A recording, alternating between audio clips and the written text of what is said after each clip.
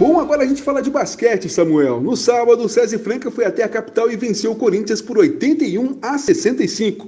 O primeiro tempo foi equilibrado, com Franca perdendo várias cestas, o que fez o Timão abrir oito pontos no marcador. O terceiro quarto terminou com apenas um ponto de diferença para o time da casa. E no último quarto, com uma poderosa marcação, o SESI virou e venceu a partida. O time de Elinho segue líder no NBB, com 22 vitórias em 23 jogos. Jorginho foi o grande destaque da partida com 20 pontos e 11 rebotes. A equipe francana volta à quadra aqui no Pedrocão contra o vice-líder Minas, dia 3 de março, após os jogos da seleção brasileira pelas eliminatórias da Copa aqui em Franca, no Pedrocão. Jonathan Luz e Jorginho falam aqui no JR23. Sim, a gente teve um momento muito difícil no começo né, do jogo.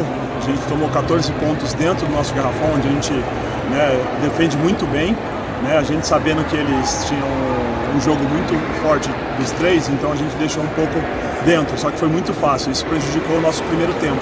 Mas segundo tempo a gente veio com melhor defesa, mais pegada na defesa, isso mudou o jogo e a gente jogou mais livre no ataque. Bom, no primeiro tempo a gente teve uma defesa boa, só que o nosso ataque estava muito passivo.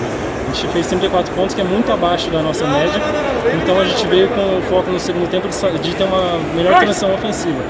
Então Consequentemente, o nosso aproveitamento melhorou, a gente teve um volume maior e fizemos um segundo tempo excelente e nos deu essa vitória por 15 pontos de diferença. Hoje agora é uma pausa no NBB e foco nesses dois compromissos aí pela seleção brasileira.